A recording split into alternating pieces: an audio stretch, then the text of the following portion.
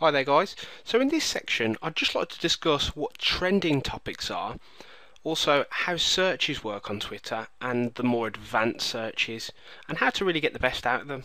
Now tweets are generally public but a direct message is a personal message a bit like the messages in Facebook where they're sent to someone in particular and it's kind of like a secret message that no one else can see. So if I wanted to send a direct message I'd use DM or you can just use D put a space, and then you put the individual's name, and you see how he, this just changed here. As soon as I put the D, it changes. So I'll just remove the D. If you just keep your eye on the sent message area there, that's when you know for sure that it's a direct message that's been sent to that individual. So D or DM, and then you send out the message and I can just hit that button it goes directly to him and it won't appear in the timeline but you have to bear in mind if I'm sending someone a direct message, they have to be following me. And because I've just gone on here and created this account, I'm only following 15 people.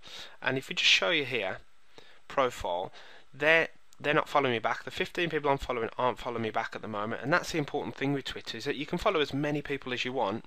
They won't necessarily follow you back, so there have to be a reason or an incentive or a conversation that you've started perhaps or an interest that really gives them the motivation to follow you back. Okay, and also um, a retweet. We're going to go on to retweets now because retweets are really really important as well and it's a good way of, of, of, showing your appreciation for someone's work. So if I go to Lennox Lewis for example you just put here one of my all-time favourite tunes to play while walking into the ring and I can retweet that. So I can send that information that he sent that one tweet he sent I can hit the button to retweet and it'll say here retweet to your followers. So I can retweet that or send that back out to my followers.